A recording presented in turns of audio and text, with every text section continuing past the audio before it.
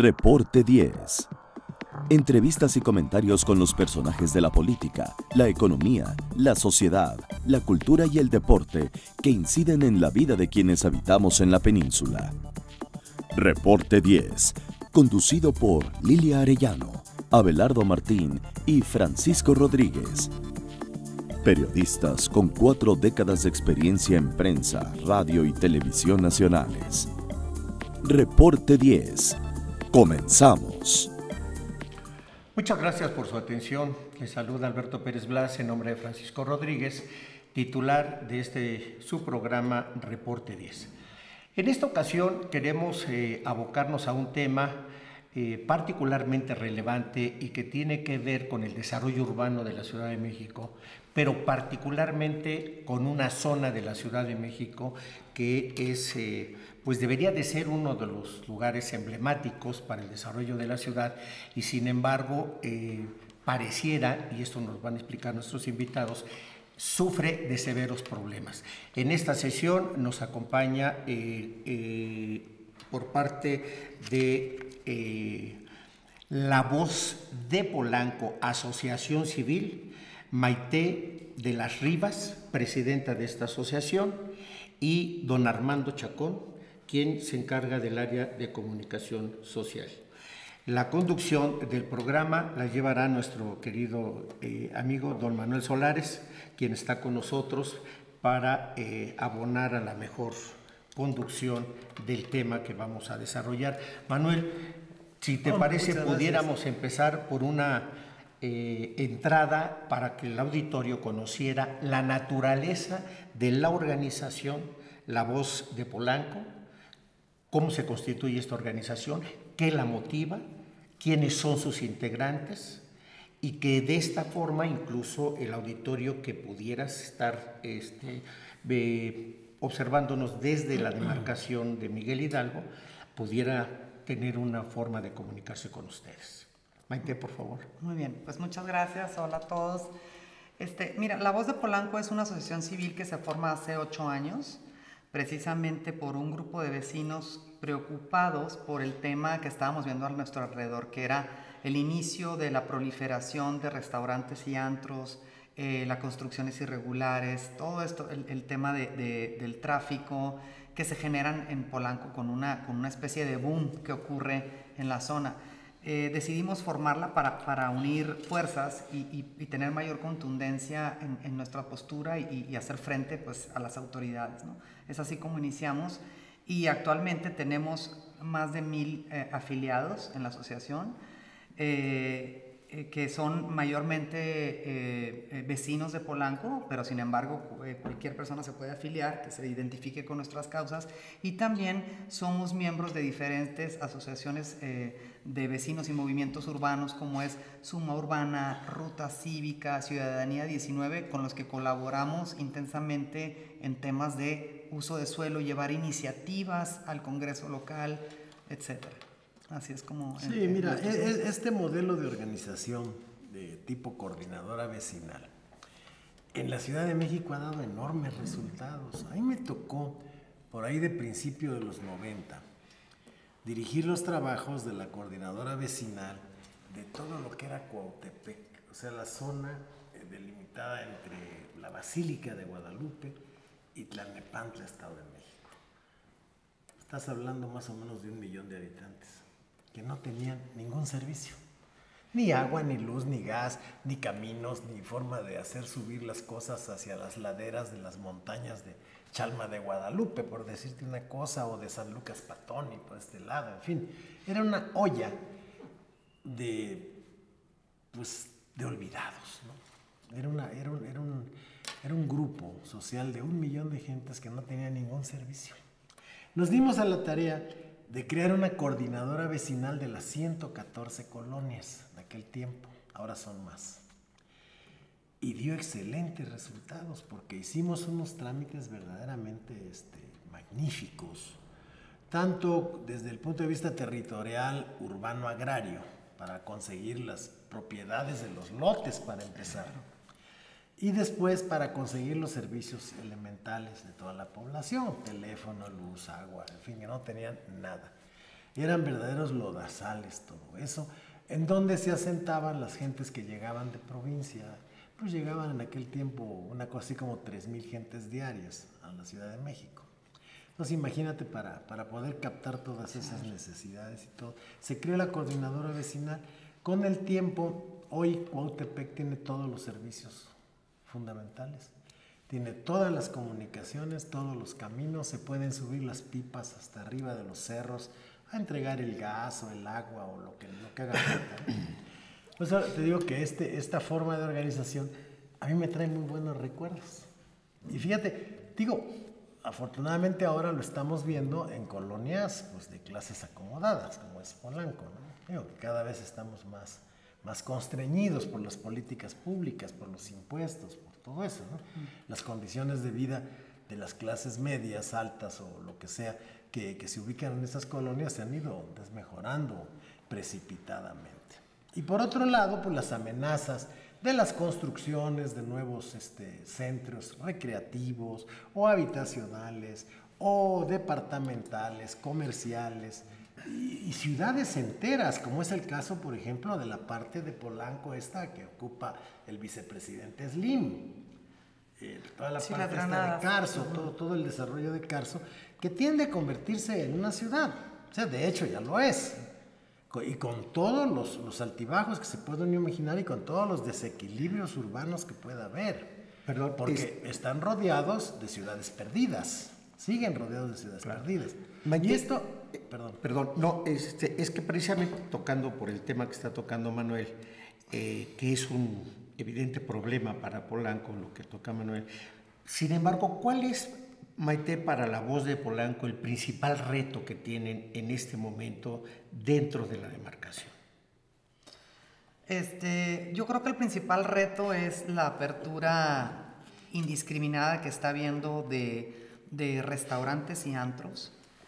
Eh, sin ningún control. Es, es, muy importante hacer notar que a partir del 6 de junio del 2014, fecha en que se publica el Plan de Desarrollo Urbano de Polanco, todos los restaurantes nuevos están prohibidos.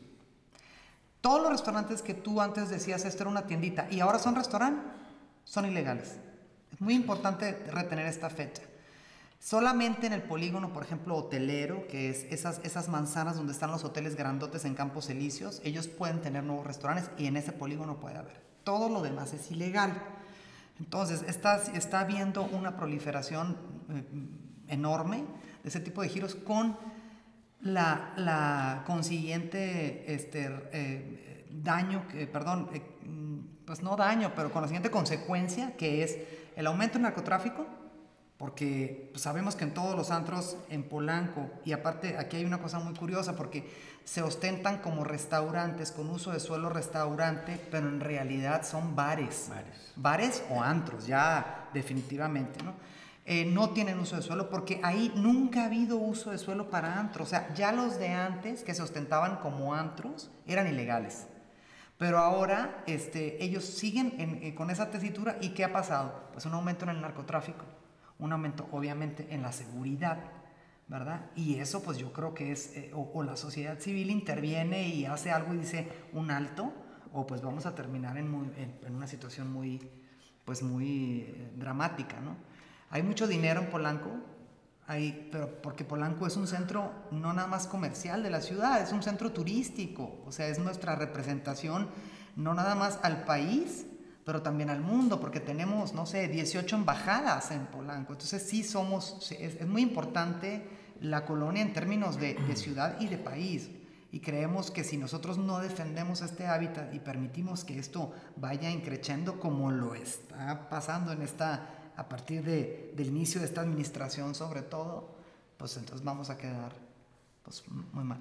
Claro, y, y yo quisiera poner esto en, en, un contexto amplio, y es que la delegación Miguel Hidalgo, eh, pues debería ser emblemática. Es el primer punto de contacto de la mayoría de eh, los viajes de negocios, de los viajes diplomáticos y eh, pues por el nivel educativo, cultural que, digamos, que, que impera en la zona, deberíamos estar hablando de estar construyendo un modelo de desarrollo urbano que fuera ejemplar para todo el país. Y en cambio de eso, tenemos que dedicar nuestro tiempo como asociación, como vecinos, a defendernos de los constantes embates de ilegalidad tolerados de manera discrecional por la autoridad, por una autoridad que, eh, pues, digamos, desde nuestro punto de vista está extralimitándose en sus funciones. ¿no? El nivel de gobierno que tenemos más cerca a los ciudadanos, que es en este caso el de las, las alcaldías, es el que afecta en mayor medida nuestra vida, ¿no? porque son los que pues, determinan las condiciones en las que vivimos. Entonces, cuando se olvida que está la ley, que eh, la ley de establecimientos mercantiles, que está el, el, programa parcial de desarrollo y se supedita a intereses comerciales, empieza a haber tensiones muy graves, que no solo resultan en inconformidad de los vecinos, sino que resultan en la grave crisis de gobernabilidad que está sufriendo la, la delegación entera. Les cuento que la delegación Miguel Hidalgo ocupa el primer lugar, el primer lugar en la Ciudad de México en delitos de alto impacto, esto es, los delitos que eh, involucran la integridad física de las personas. Y de igual forma ocupa el primer lugar compartido con una o dos eh, alcaldías más en todas las categorías de, delitos, incluyendo los que pesan sobre los clientes de sucursales bancarias, eh, los, transeúntes. los transeúntes, los que van a bordo de taxis. Entonces, tenemos una crisis grande de gobernabilidad, una crisis delictiva enorme, que se favorece por eh, pues esta cadena eh, que describía Maite, ¿no? en donde tenemos una sobrepoblación de restaurantes que están atados a una serie de problemas, en particular a las mafias de la calle, ¿no? las mafias que controlan la calle. Y me refiero, por ejemplo, a las mafias de los ballet parkings.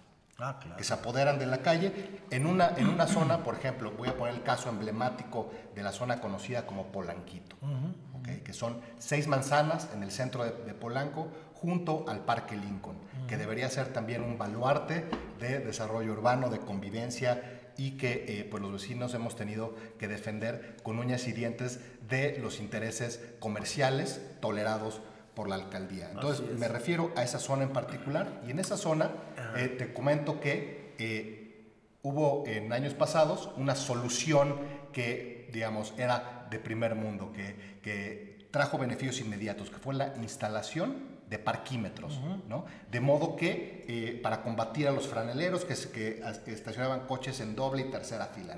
Se pusieron los parquímetros y al día siguiente cambió la fisonomía completa de la, de la colonia, ¿no? Sin embargo, a los pocos, eh, muy poco tiempo después, se empezaron a tolerar una vez más los, los ballet parkings que cobran 100 pesos para estacionar los, los Para estacionártelo en la calle. Así es. En la calle, porque no, no, hay un ratito, ¿no? Un ratito. Entonces, esto constituye una mafia. A fechas recientes, la alcaldía decidió favorecer a dos compañías. Eligió las dos que le gustaban y les dio, digamos, la exclusiva de la zona, ¿no? Pero oye, Maite, Armando, esto no puede explicarse de otra manera a nosotros, si no es corrupción. A nosotros no nos interesa explicarlo, nos interesa porque, digamos, es muy interesante, es apasionante llegar a, cuál es el fondo de esto. Pero lo que creemos es que, eh, digamos, debe prevalecer la ley. ¿no? Entonces, eh, no entendemos, no entendemos por qué la insistencia en entregar la calle a particulares, a los intereses de particulares que, como te decía, traen de la mano otras mafias. Por ejemplo, las mafias de ambulantes, las mafias de, eh, digamos, de, de, de, venta de, profesionales, de narcomenudeo, ¿no? Todo esto está controlado por, por la mafia. Entonces, eh, por ejemplo, eh, estas, estas mafias de ballet parkings, pues no solo se apoderan de la calle, sino que se instalan en las calles y muy, y muy pronto empiezan a sentir que es su territorio. Muy pronto empiezan a ubicar cuáles son las oportunidades de delincuencia en los domicilios de las personas que viven en esta zona, ¿no? Entonces, una anécdota, eh, pues a ver qué les parece, ¿no? Tuve un enfrentamiento con los ballet parkings que, pues en la entrada del garage, del edificio donde vivo, pues constantemente lo usan para hacer sus maniobras, ¿no? Entonces, en los constantes enfrentamientos de los vecinos y mío en particular con los ballet parkings, eh, pues decidieron al día siguiente ponerme eh, un tema de brujería, ¿no? De gallinas sacrificadas, ¿no? Que, que es común, digamos, entre este tipo de mafiosos, ¿no? Entonces, este tipo de mafias son toleradas y se celebran acuerdos de tipo oficial, ¿no? donde, la, donde la alcaldía decide que, ok, ya los voy a legitimar, les voy a poner unos gafetes electrónicos para que acaben de controlar la zona. ¿no? Entonces, esto, estas mafias se alimentan por una sobrepoblación creciente de giros negros, de los restaurantes y restobares que mencionaba Maite. Entonces, eh, para que se den una idea, nos salimos a hacer un ejercicio que no deberíamos hacer. No deberíamos hacer porque la alcaldía tiene la obligación de publicar y de mantener actualizado el padrón de establecimientos mercantiles en toda la delegación. Con sus licencias y todo, o sea, qué licencias tiene cada uno. Correcto. Armando, si te parece, para continuar con este tema, Maite, este, Manuel, vamos a un corte, por favor, Gracias. y regresamos para el desglose correspondiente. ¿Te parece? Sí. En un momento regresamos a Reporte 10.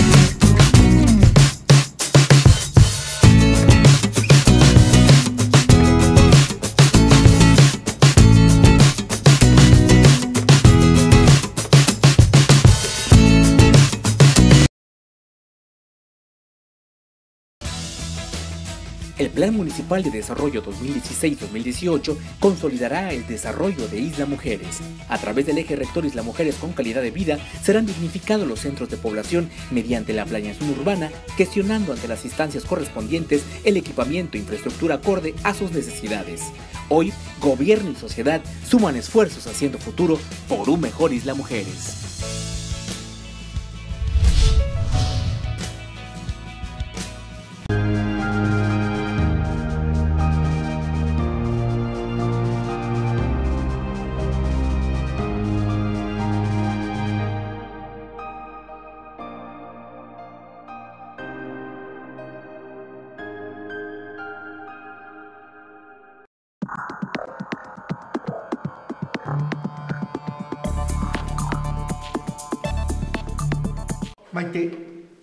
Dentro de este esquema tan complejo que nos está eh, evidenciando Armando, y en este desglose tan puntual que has hecho, Armando, de cómo se van encadenando los conflictos y la problemática de una comunidad producto de la falta de la aplicación de la ley, la pregunta obligada a la asociación es, ¿no supuestamente las delegaciones se transformaban en alcaldías? A efecto de contar con un mayor ejercicio de la autoridad, una mayor descentralización que le permitiera estar mucho más cerca de los problemas de la demarcación de los ciudadanos y a, eh, a propósito de lo mismo, poder aplicar de manera más eficiente la ley de tal suerte que hubiera una incluso mayor participación comunitaria en el desarrollo de los planes de, trabajo de la propia alcaldía e incluso de la participación en organismos y, comités para la definición de presupuestos, de obras prioritarias. ¿Qué ha pasado con eso, Maite? Bueno, en realidad este, la transformación que hace la Constitución de, para pasar de delegaciones a alcaldías eh, otorga ciertas facultades adicionales al alcalde que a nosotros nos preocupan, como temas de eh, uso de suelo ellos tienen una injerencia mayor ahora en términos de modificación del uso de suelo, creo que pueden hasta incluso impulsarlo. Nosotros eh, lo que tenemos es un blindaje en estos momentos otorgado por ese plan de desarrollo que te digo, que es de reciente revisión, porque es del 2014. Pero en cuanto a que la alcaldía tiene más, pues mira, es que tú sabes que no importa cómo le pongan a una institución, cómo, el, el, el, chiste es, tú aplicas o no aplicas la ley, ¿no? Eh, hay una, una cosa que, que, que, salió en la Constitución y que forman parte de la alcaldía, que es los 20 concejales. Uh -huh. Nosotros nos opusimos mucho a, esa, a, ese rubro en especial porque los 20 concejales que acompañan al alcalde tenían que, no son, no son elegidos por voto directo, sino que es por mayoría. Entonces entraron tales mayoría de Morena, tales según iban quedando, ¿no? Entonces, eh, con un sueldo de 20 mil pesos cada uno, fíjate, 20 concejales por 20 mil pesos por todo el número, por las 16 alcaldías, pues es, es un número no menor y no sirven para nada. O sea, yo lo que he visto de nuestros concejales, por ejemplo, de nuestro concejal, uno del PAN, que está ahí en la alcaldía, nada más se convirtió ya en el bufón y palero del el alcalde. Y es de un partido de oposición, es del Partido de Acción Nacional, ¿no? Entonces, se supone que ellos están para revisar la aplicación de la ley, para contrarrestar las políticas del alcalde, las decisiones en cuentas, ver la aplicación de vida. O sea, se supone que estos concejales, que sería el, el, equivalente a los regidores de un municipio, ¿sí? pues no sirven para nada. Nada más sirven para gastar dinero como ya lo preveníamos. ¿no? Creo que la capacidad de un alcalde de convencer a sus concejales, sean de partidos de oposición y todo, pues va estrictamente ligada a, la, a una capacidad. No, no creo que por su, que por su gestión este, de, de lobbying, ¿no? Yo creo que más bien va a un tipo de, pagos, de recompensas, ¿no? De yo te hago este favor, tú me haces esto, o sea, recompensas políticas y que creo que es lo que está pasando. No sé si en las demás alcaldías, pero en esta seguro. Y yo creo que has dado el clavo. Yo creo que lo que estamos viendo en la delegación, en la alcaldía Miguel Hidalgo, esta situación de tolerancia discrecional, de opacidad, pone no solo en juego la, eh, el Estado de Derecho y la convivencia de, de los vecinos en Polanco. Está en juego el modelo nuevo de alcaldías y yo iría incluso más lejos, la promesa de la cuarta transformación, ¿no? donde digamos, nos prometieron que se habían acabado la corrupción, la opacidad, la corrupción y todo esto, ¿no? Y como te comentaba, para muestra un botón, ¿no? Comentábamos que la ley obliga a la alcaldía a publicar y mantener actualizado el padrón de establecimientos mercantiles con sus respectivas licencias, uso de suelo, licencias de, de, alcohol, por ejemplo, y el tema de los enseres, lo que pueden ocupar en la calle. Entonces nos tomamos las seis manzanas que corresponden a lo que se llama informalmente Polanquito, que es lo que va entre eh, Emilio Castelar y Mazarik, uh -huh. y entre Alejandro Dumas y Anatol Anatol Franz. Uh -huh. Son seis manzanas, y pues como no están eh, publicado este padrón actualizado de licencias, pues salimos los vecinos a contar las puertas. Hay 160 puertas en esas manzanas, incluyendo entradas a edificios, entradas a estacionamientos, en fin, cada puerta la contaba de esa forma, son 160 puertas. De las 160 puertas, 80 son restaurantes y restobares. Esos restaurantes y restobares tienen colocado en la vía pública, en las banquetas, aproximadamente 1.300 sillas que obstruyen el paso de los peatones y contribuyen a este ecosistema que les comentaba de eh, pues apoderarse de la calle. Entonces está cada vez más lleno de pues algunas, algunas situaciones alarmantes de comercio ambulante. ¿no? Entonces esto consideramos que es muy grave y que no parece, no parece estar digamos llegando a tope. Cada vez eh, se construyen y se, y se habilitan más de estos restaurantes bares que a su vez requieren más ballet parkings, requieren más eh, gente que trae de comer a los ballet parkings y se, se, hace, digamos, una, este, este tema de este ambiente de conflicto, ¿no? En donde empiezan a oírse voz por ahí de que, ah, bueno, entonces ahora necesitamos, eh, pues, baños, por ejemplo, ¿no? Baños para que toda esta... Este ballet parking. Entonces van ganando terreno y se apoderan de la calle y de la vida vecinal. Entonces está en juego, pues no solo, digamos, el bienestar de los vecinos, sino como bien decías, está en juego la viabilidad de eh, pues una nueva forma de hacer las cosas en la Ciudad de México y está también en juego la cumplimiento o no de la cuarta transformación, ¿no? Fíjate que mmm, es muy interesante aquí recalcar que cuando tuvimos un encuentro, hicimos un debate, nosotros como asociación organizamos debates. Tuvimos un debate entre Víctor Romo, que era el puntero como alcalde, y Margarita Martínez Fischer, que era por el PAN, uh -huh. que eran los dos punteros, uh -huh. en el Club de Industriales.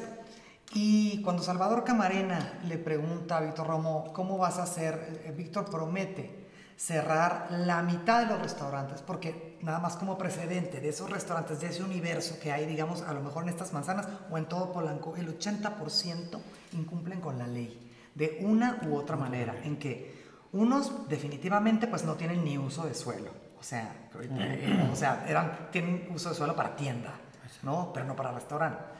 Eh, otros no tienen licencia de alcoholes, ¿sí? que se llama alto impacto y bajo impacto. Otros incumplen con, los, con las mesas que tienen en la calle, porque de acuerdo al plan de desarrollo no pueden tener más del 50% de las mesas que tienen arriba, nada más adentro, afuera tienen el 50%. Entonces, todos, y eso sin irnos a normas de protección civil, o sea, ya eso es lo de menos.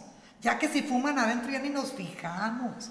Que si tienen extintor, o sea, ya eso es lo de menos, eso es pecata minuta. Bueno, se comprometió a cerrar, y lo tenemos por escrito, y es más, lo pueden ver en YouTube, está todo grabado, este, a cerrar la mitad de los restaurantes a partir de un principio, dijo el propio alcalde.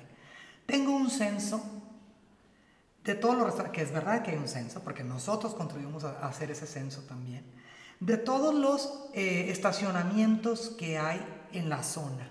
Dice la ley que tienes que tener, el plan de eh, desarrollo urbano de Polanco dice que tienes que tener un cajón por cada 7.5 metros cuadrados de construcción, ¿no? En un restaurante. Entonces él dijo, a partir de que no pueden surtir los, los, los estacionamientos, con eso voy a cerrar los restaurantes. Pues hasta el día de hoy, no nomás no los ha cerrado, sino que han abierto nuevos, tenemos ahí algunos casos emblemáticos que son totalmente transparentes y evidentes porque son nuevos, se abrieron este año o a fines del año pasado, que son Paramonte, El Cuerno, el Antro M, Atípico, o sea que esos de plano ya ni el beneficio de la duda, o sea, son ilegales, punto. Y él, eh, yo creo que cuando hay voluntad política para cerrar un lugar, porque aunque se están amparando, aunque no sé qué, o sea, pues ellos mismos pierden los amparos. O sea, tenemos conocimiento de que un especial que estamos compareciendo, nos estamos metiendo al juicio nosotros como asociación para empujarlo, pues ellos mismos pierden los amparos. El jurídico les dice, no comparezco en fácil, no comparezco a la audiencia constitucional, no, o sea, hay mil maneras, hombre, somos abogados y la conocemos. Entonces, ¿dónde está la promesa de Roma? Esa donde él se comprometió públicamente ante más de 500 gentes que iba a cerrar, pues no, ni lo cierra, permite nuevos, ni los ordena, trata de ordenarlos ahora con temas de, de, de ballets, o sea, temas absurdos, porque espérame, pero si no tienen, no hay dónde guardarlos, ¿a dónde los van a llevar los ballets? Pues a la calle, hombre. Entonces, ¿dónde está toda esa promesa? No? Yo creo que es, que es muy importante que, y, y, y aparte recordar, pues que no, que Romo, él sabe cómo funciona la delegación, él conoce perfectamente porque él ya estuvo tres años, o sea, este sería su cuarto año. No es que esté aprendiendo, no hay curva de aprendizaje.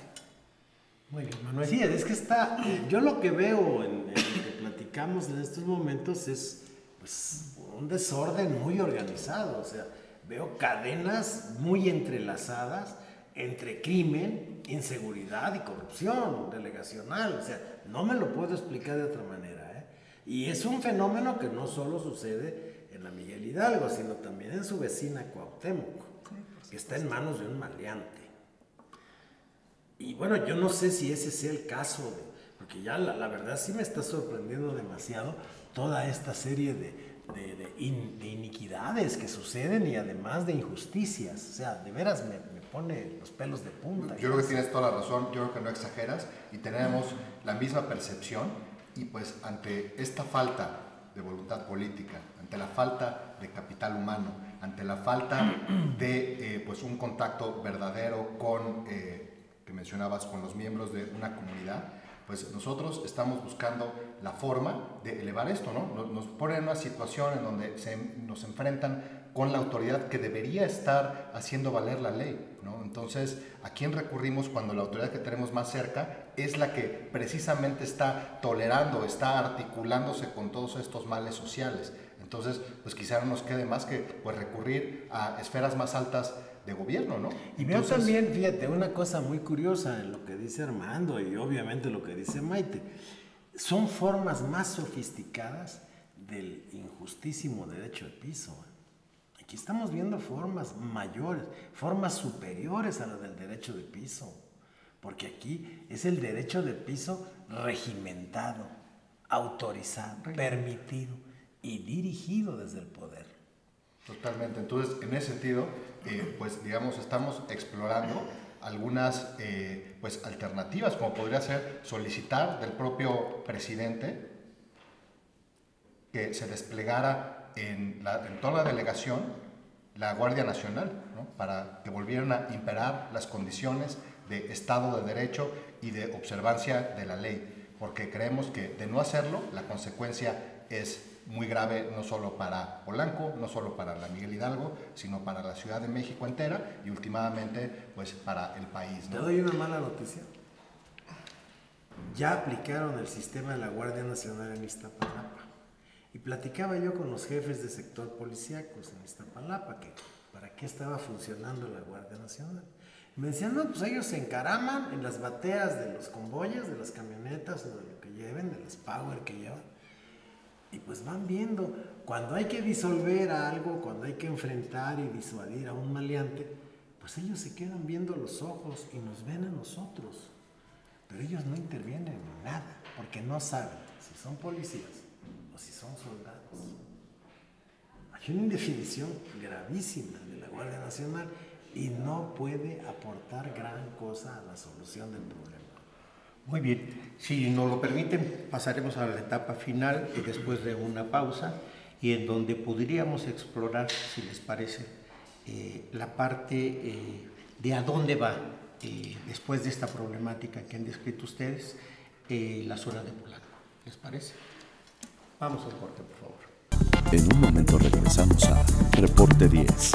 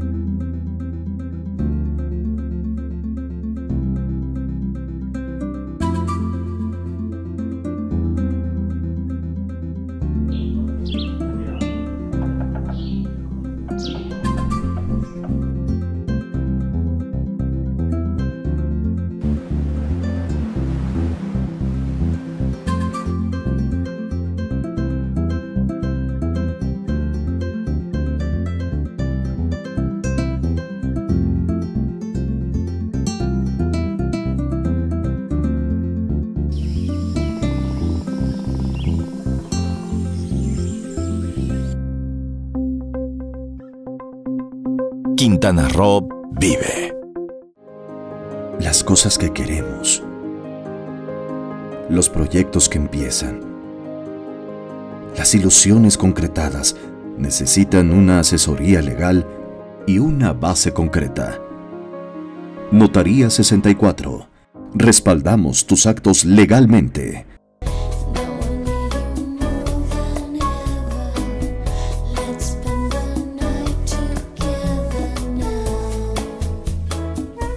Vivir intensamente tiene un gran significado. En Hospital Americano tenemos más de 20 años en Cancún y con un excelente servicio médico. Área de urgencias, radiología y laboratorio las 24 horas. Visítanos en Retorno Viento 15 Supermanzana 4, teléfono 287 80 22 al 29. En Hospital Americano cuidamos lo más importante de tu familia.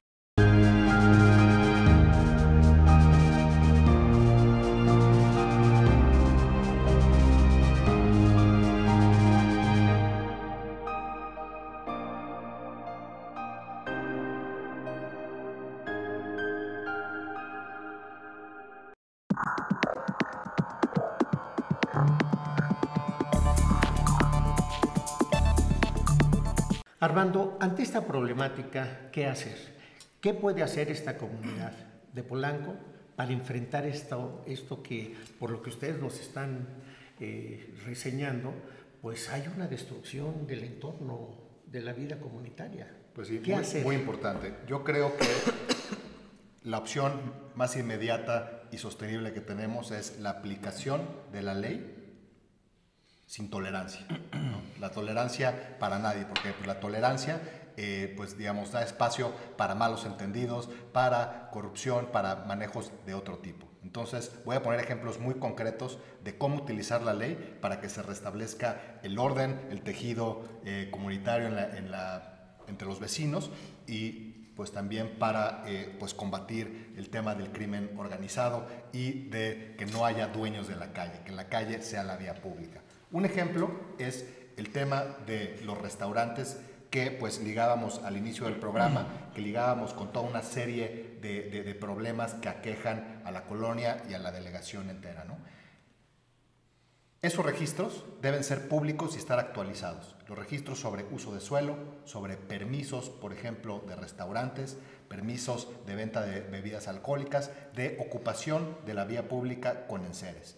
Entonces estamos exigiendo que se hagan públicos esos registros y pues una vez que son públicos y que queda claro cuáles son los establecimientos que no están cumpliendo con la norma, entonces la autoridad tiene la obligación de, ejercer la ley, de implementarla y pues de, sancionar, de cerrar esos establecimientos. Entonces creo que eso sería una acción ejemplar. En ese punto nada más quiero decir, estamos, nosotros estamos integrando un padrón exactamente en donde, en donde teníamos mucho avanzado, sabemos mucho en materia de uso de suelo sobre cada, sobre cada, este, sobre cada establecimiento, pero ahora estamos eh, completándolo a través de transparencia para que conste qué, qué licencia tiene de alcohol, si es nada más vino y cerveza, si tiene para, para, para alcoholes más fuertes, que es la, de, la licencia de alcohol que se llama, en seres que tiene. estamos completando perfectamente el padrón eh, eh, eh, para, para, sustituir lo que la alcaldía no ha sido capaz de dar, porque no lo tienen puesto, aunque es su obligación. ¿no? Eso, eso como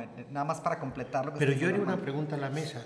Si, Maite, Armando, si ustedes reconocen en esta mesa que no hay una voluntad política de la, de la autoridad para ejercer su responsabilidad, ejercer la ley, ¿Cuál sería entonces la alternativa para poder obligar o para obligar a esta autoridad política a que le respalde a ustedes en acciones como estas? Ok, pues estamos haciendo un esfuerzo redoblado por convocar a nuestros vecinos, por informarlos sobre qué es lo que dice la ley para que para sumar para sumar voluntades, ¿no? Estamos redoblando nuestra actividad en las redes sociales, en los medios y eh, pues como les comentaba, nuestra intención es escalar esto, escalar esto con acciones concretas. Cada vez estamos, eh, digamos, pasando de la queja vecinal casual a la denuncia formal. Entonces vamos a empezar a proceder con la ley en la mano, con la ley en la mano de manera jurídica, de manera mediática,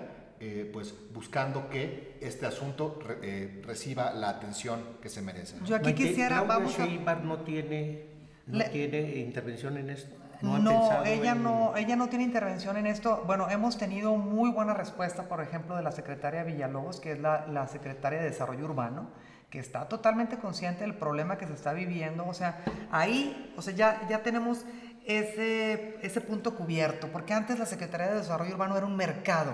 ¿En qué sentido? En que te, te aparecían usos de suelo de la nada sembraban usos de suelo. Era un verdadero, en la administración anterior era un mercado, o sea, eso ya era inconcebible. Entonces, de repente, claro, tú llegas con un uso, un uso de suelo falso, entonces llegabas allá a la delegación y decías, pues quiero ya mi licencia de apertura, aquí está mi uso de suelo, pero ¿cómo? Entonces teníamos que estar contrarrestando.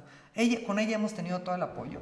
Creo que por el, por el lado del, del gobierno central, en términos administrativos, esa parte está cubierta, tenemos todo el apoyo de la secretaria, mm. tienen todos los cantados puestos, cuando es Miguel Hidalgo ya tienen como una, casi una mm. chicharra, ¿no? Y si sobre todo si este tema de uso de suelo para restaurante, tienen casi un, un, código azul de que, oye, me están llegando esto, nos piden que les ayudemos a, a, veces, a, nos preguntan de alguna información, qué noticias tenemos de esto, así. Entonces, por ese lado estamos cubiertos. Pero hay una cosa muy interesante, que esta es una fiscalía de reciente creación, es la Fiscalía La FEDAPUR, que es una fiscalía especializada en violaciones al uso de suelo, porque quiero que sepas que eso es un delito, ya es un delito.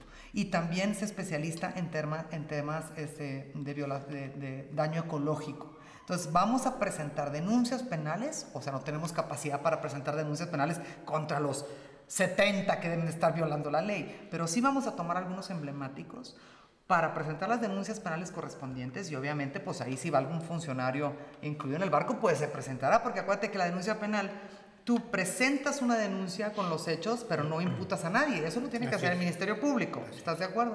Entonces, tenemos ya reuniones con el fiscal general, hoy de hecho tenemos una en la tarde, porque queremos que se haga esto un, un pues que de veras los organismos de la ciudad trabajen en conjunto para proteger una zona que, que creemos que es, es, prioritaria y también, digo, los compañeros de, la, de, la, de, las granadas, que es lo que tú comentabas, que es eh, el, sí, lo que rodea el, llamado Nuevo Polanco, pues también están...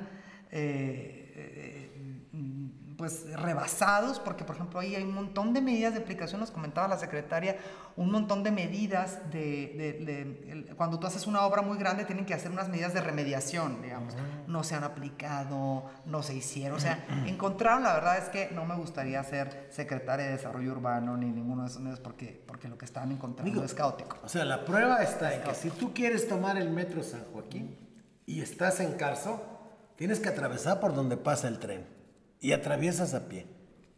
Digo, más claro ni el agua. O sea, ¿cuál medida de remediación? Si tienes que atravesar a pie las vías para salir de Carso y entrar al Metro San Joaquín, pues es, es inaudito que estás en Calcuta o, dónde, ¿no? Claro, y, digamos, y también eh, pues es parte de nuestra, de nuestra estrategia a mediano plazo, eh, pues también unir fuerzas con otras colonias, con otras zonas de, de, la, de, la, de, la, alcaldía Miguel Hidalgo, ¿no? porque estos problemas no son privativos de, pues, de la parte más privilegiada, digamos, que es, que es Polanco. ¿no?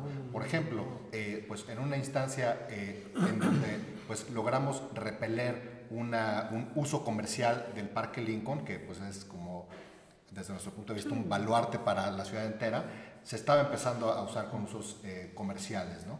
Esto no fue en el periodo de Romo, fue antes, pero a partir de que logramos repeler esta ocupación comercial del parque, se acercaron con nosotros, eh, digamos, gente de otras colonias.